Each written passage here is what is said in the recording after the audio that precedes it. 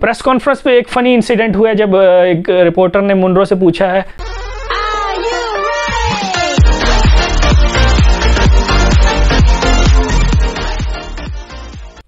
अस्सलाम वालेकुम welcome back to my channel. और जिस तरह चाहत अली ने कहा था ये जो प्यारा it was an outstanding day double delight दो मैच हुए और 200 दोबारा चेज हुआ। अब 200 पे 200 लगना शुरू हो गए यही ब्यूटी है इस गेम की कि मैं चाहता हूँ हाई स्कोरिंग गेम्स हों। जिस तरह की फ्लैट विकेट है पिंडी की तो उसमें 200 प्लस रन लगने चाहिए, जिस तरह की वो इजी है बैट्समैन के लिए खेलना। बॉल आसानी से आता है बैट पे। सबसे इंपॉर्टेंट जो चीज़ है, सबसे एक्साइटिंग जो चीज़ मुझे टी क्रिकेट में लगती है कि एक बड़ा स्कोर लगाए फ़र्स्ट टीम और दूसरी इनिंग में वो चेज हो 200 प्लस को। और आज वो हुआ इस्लामाबाद ने दूसरी दफ़ा 200 प्लस चेज किया। है इस सीज़न में और इस सीज़न में रन ज़्यादा स्कोर हो रहे हैं एक फास्टर रेट के साथ जो जो गेम की ब्यूटी को बढ़ाते हैं। आउटस्टैंडिंग चेज बाय इस्लामाबाद जब बैटिंग स्टार्ट हुई मुल्तान की, आज शान मसूद ने अच्छी इनिंग खेली 75 ऑफ़ 50 रिजवान जल्दी आउट हो गए, लेकिन अपना काम करके आउट हुए। मैं ये कहना चाहूँगा कि इस तरह की इनिंग्स बेहतर है कि वो गेम को डीप लेके जाएँ और स्लो खेलें। इसके बेहतर है कि यही अठारह बॉलें खेल के अब अपने तैतीस रन करके साइड पर हो जो ये ज़्यादा बेहतर है टीम के लिए, क्योंकि इसमें टीम का फ़ायदा होता है। बॉलें भी कम यूज़ होती है रन भी ज़्यादा होते हैं और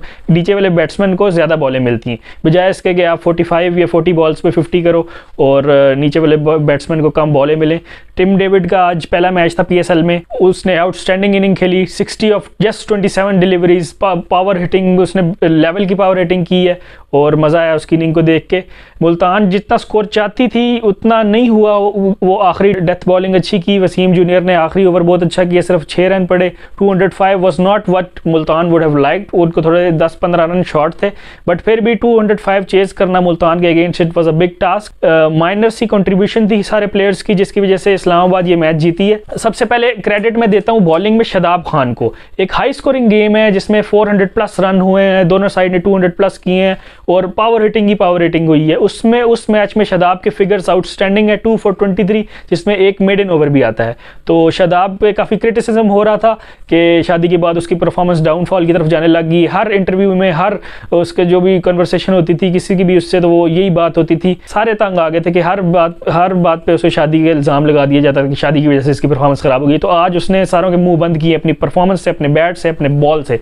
तो it was a good day good outing for Shadab Khan. Islamabad का मैंने जिस तरह बताया कि माइनर सी कंट्रीब्यूशन थी। गुरबाज ने एक स्टार्ट लिया solid start 25 of just 14 balls Alex Hales आज टोटली ऑफ़ कलर दिखाई दिए। Seven balls one run Munro आज फिर फॉर्म में दिखाई दिए कम बॉलें फेस की और ज़्यादा स्कोर किए 21 बॉल में 40 किया। शदाब खान की क्रूशल इनिंग्स थी पावर हिटिंग जब चाहिए थी तो उनसे पावर हिटिंग हो रही थी, छक्के भी लगाए, चौके भी लगाए।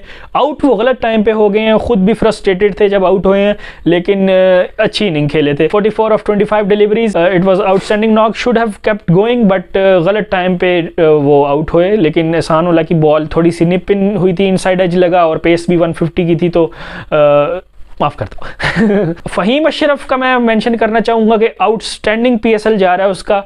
थर्ड कंजेकेटिव उसकी रिस्पॉन्सिबल इनिंग थी 41 39 और अब 51 not out of just 26 deliveries और मैच को फिनिश किया कूल काम cool as a cucumber game को डीप लेके गए और आखिरी ओवर में 18 आज तक पीएसएल की हिस्ट्री में चेज नहीं हुआ। लास्ट ईयर खुशदिल ने 16 चेज किया था। हारिस रऊफ के ओवर पे चार चौके लगाए थे, चार बॉलों पे इस दफ़ा जो फ़हीम अशरफ ने आउटस्टैंडिंग हिटिंग की है, आखिरी ओवर में एक उनका लक लग गया कि वो इनसाइड हड्डियों के चौका हो गया लेकिन जो दूसरा छक्का था, जो इस तरह स्कूप मारी ऑफ़ साइड की तरफ़ दैट वॉज़ टोटली सेंसेशनल और इट्स वॉज़ माइंड ब्लोइंग और जब आपको फॉर्म लगी हो तो आपकी हर शॉट लगती है। ये इसका एग्ज़ाम्पल है। एक और उसने पावर हिटिंग आखिरी ओवर बहुत अच्छा फिनिश किया। एक छक्का, तीन चौके, और जो डबल भी ली है, वो भी बहुत क्रूशल थी। वो बनती सिंगल थी, लेकिन उन्होंने रनिंग की मिसफील्ड हुई, और वो उसका फ़ायदा उठाया। एक एक्स्ट्रा रन लिया। तो एक रिस्पॉन्सिबल और एक मैग्निफिसेंट नॉक थी। कम बॉलों पे ज़्यादा रन करने थे और उसने कर लिए। ज़्यादा वो ओवर सेलिब्रेट नहीं करते काम रहे हैं। मैच जिताने के बाद भी फिनिश करने के बाद भी वो काम थे और बॉलिंग में भी उन्होंने एक विकेट ली और वो अच्छा इकोनॉमिकल स्पेल करा रहे करा रहे होते हैं इस्लामाबाद के लिए। तो overall it was a mind blowing performance by Faheem press conference पे एक फ़नी इंसिडेंट हुआ जब एक रिपोर्टर ने मुनरो से पूछा है। What is the difference between Islamabad team and Multan team? We won, they lost.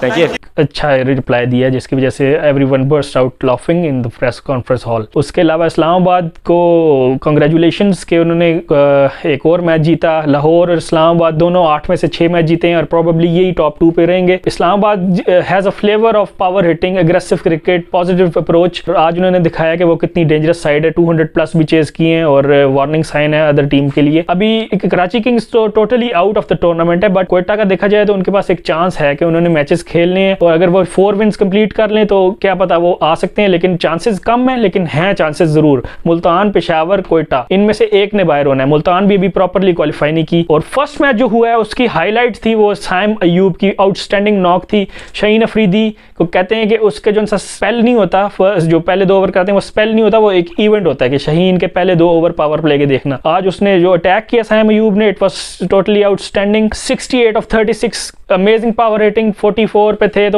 26 ball पे उन्होंने 50 की छक्का मारा राशिद खान को। उनके पहले ही ओवर में तो it was totally outstanding Babar थोड़ा स्लो खेले, लेकिन उनको ज़रूरत नहीं थी तेज़ खेलने की, क्योंकि दोनों दूसरे एंड से हर कोई पावर रेटिंग ही कर रहा था।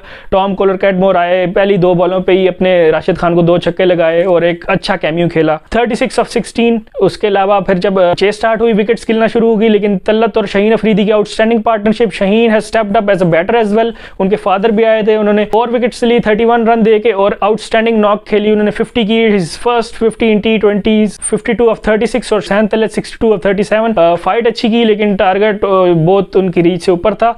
It was a great day of cricket and see you guys देखते हैं कि कौन सी टीम क्वालिफाई करती। है कोयटा मुल्तान या पेशावर? मेरे ख्याल से पेशावर और मुल्तान करेगी कोयटा के लिए बहुत मुश्किल है, है तो सही लेकिन बहुत टफ है बहुत सिनेरियो बेस्ड उनके लिए हो गया।